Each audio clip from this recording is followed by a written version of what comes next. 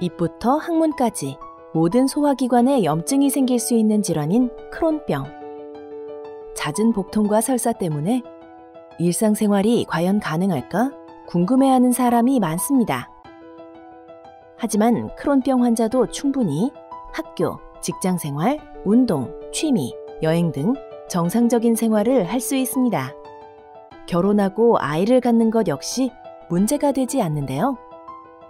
증상이 악화했을 때 증상 완화를 위해 입원 치료를 받을 수는 있지만 증상이 호전되면 바로 정상 생활로 복귀할 수 있죠.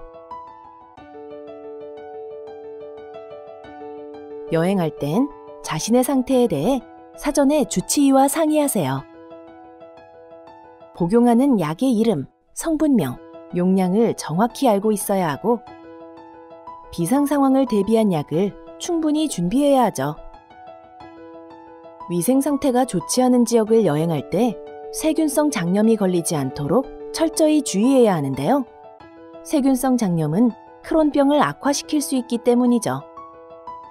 따라서 물은 가급적 사먹는 것이 좋다는 점 잊지 마세요.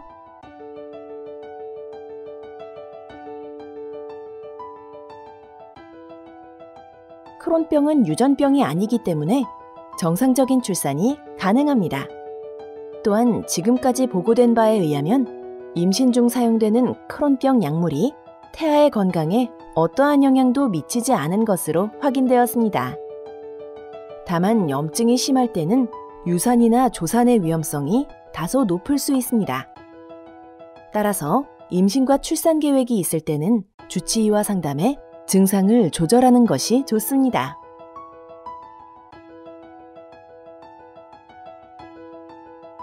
비스테로이드성 소염 진통제를 신중히 투여하세요.